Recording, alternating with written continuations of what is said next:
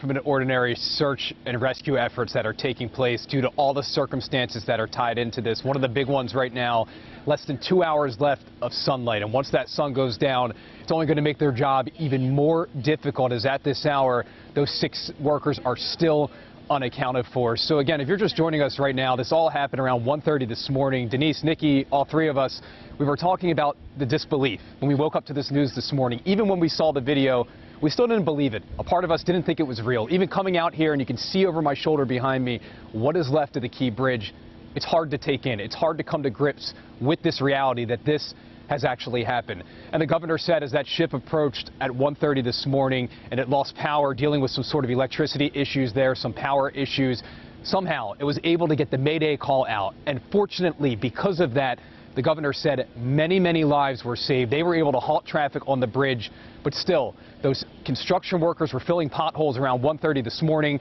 eight of them going into the water, two of them being recovered and doing okay tonight, fortunately, but six of them still unaccounted for. And the six of them coming from overseas, Guatemala, Honduras, El Salvador, living in Highlandtown and Dundalk in those communities, providing for their families, desperate to give their families a better life. And tonight, their families are the ones left searching for answers. We spoke about the NTSB a little bit, so just to give you some context for our viewers watching at home, the NTSB brought up another accident, another bridge collapse, and said that it took up to two years for them to get some of the answers that they were looking for. So this is going to take some time to play out in terms of figuring out what exactly happened, what safety protocols were in place from the cargo ship to the bridge itself, and what safety stuff the bridge had intact, and was it enough to prevent a tragedy like this from happening? Obviously, that's not the case for sure with based upon what happened here. Uh, the president and vice president both speaking about this today. The president saying a little bit earlier the federal government will move heaven and earth to do what they need to do to bring assistance to Maryland and to get this bridge rebuilt and to take care of workers at the port as their livelihoods are impacted by this. And the vice president echoing that sentiment said it just a short time ago. Take a listen to what she had to say. So before I begin, I will say a few words on the terrible accident in Baltimore this morning. I know we are all praying for the families of those who are missing and all those who have been touched by this tragedy.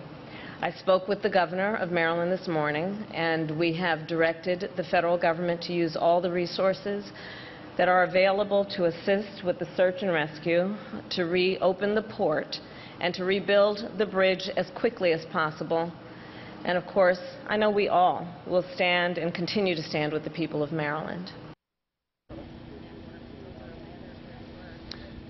And the transportation secretary saying a little bit earlier in one of those press conferences as well that this was one of the cathedrals for American infrastructure in this country. It goes to show you just how crucial this bridge was for not only going over it, of course, but also one of the more crucial entryways for the Port of Baltimore for vessels to get in and out. And obviously the Port of Baltimore, at least on the water right now, shut down indefinitely. The emotional toll that it is having on so many people out here. I'm in Pasadena. This is where I've been for a few hours now, uh, really since 11, 11.30 this morning. And we have news crews lined up all along here on the water, of course, reporting on this. But the amount of spectators that have come over, people who wanted to see this for themselves, people who are emotional because they're having trouble coming to grips that this is the reality that we are dealing with tonight and that also these families left waiting to find out if their loved ones will make it out of the water okay.